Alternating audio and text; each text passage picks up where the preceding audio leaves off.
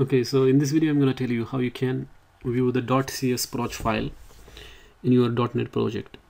So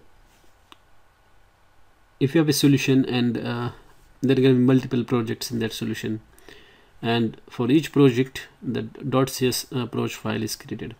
So if you want to edit the .cs proj file for specific project so you have to click uh, click on that project in the solution explorer you can see here a solution explorer.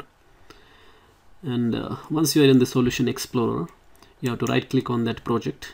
Remember that you are right clicking on the project and not the solution. This is my solution and this is my project. So you have to right click on the project.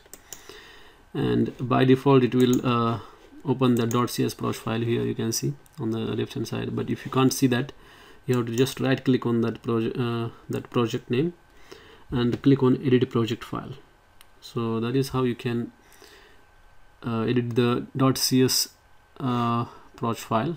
You can see here .cs proj file. And each project uh, will have this uh, independent file .cs proj file that is C sharp project file.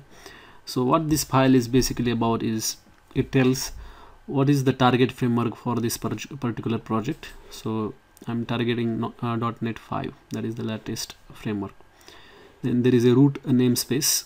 That is the namespace uh, in which I'm gonna put all my classes and interfaces and whatnot. After that is packable is false. And then uh, this item group is there. And in that uh, there is a package reference. So this is very important. Basically uh, you can add all the dependencies that you need. For example if you want to work on any unit project then you will need NUnit dependency. So you can put it in here and then after that you can click on uh, right click on this project and then click on restore or manage uh, NuGet packages.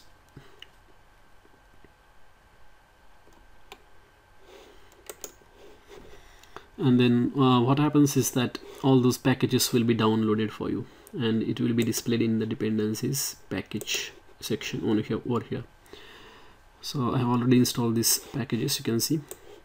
This is the .NET uh, .test SDK this is the one then NUnit is the one then NUnit 3 test adapter this is the one and there is a coverlet collector this is the one. So these packages have been installed in this particular project. Thanks for watching this video